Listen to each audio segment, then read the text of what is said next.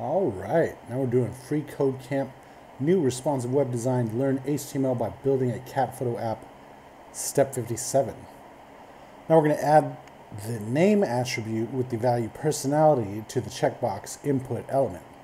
While we won't notice this in the browser, doing this makes it easier for a server to process our web form, especially when there are multiple checkboxes.